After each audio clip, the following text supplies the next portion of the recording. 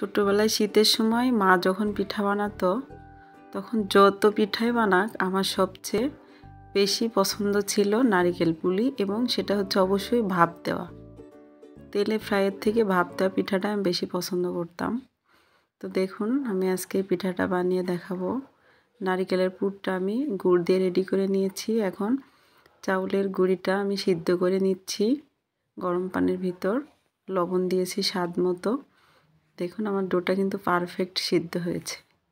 তো আমি হাতে ঠান্ডা পানি নিয়ে এটা ডোটা সুন্দরভাবে ধীরে ধীরে বানাচ্ছি এবং যাতে খুব সফট হয়। সফট হলে পিঠাটাও কিন্তু খুবই সুন্দর হয়। তো আমি দেখুন এটা বাটির মতো বানিয়ে নিয়ে এটার ভিতর নারিকেলের পুরটা দিয়ে আমি নারিকেলের পুলি শেপটা দেওয়ার চেষ্টা করে যাচ্ছি।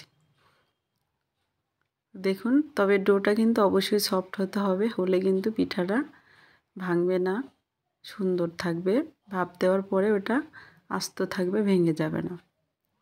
তবে এভাবে নারিকেল পুর দিয়ে সব পিঠাগুলো বানিয়ে নিলাম। আমার পিঠাগুলো বানানো শেষ। আমি চুলায় একটা পাতিল বসিয়ে পানি দিয়েছি, দিয়ে তার উপরে আরেকটা ছিদ্রযুক্ত পাতিল দিয়েছি। এটার ভিতরে আমি নারিকেল পুলিগুলো সুন্দরভাবে সাজিয়ে দিলাম। দেখুন, এখন আমি চুলাটা অন করে এটার উপরে ঢাকনা দিয়ে ঢেকে দিব যাতে বাতাস বের না হয়, এজন্য আমি এটা উপরে দিয়ে দিয়েছি। দেখুন, আমার পিঠাটা কিন্তু ভাব দেওয়া শেষ।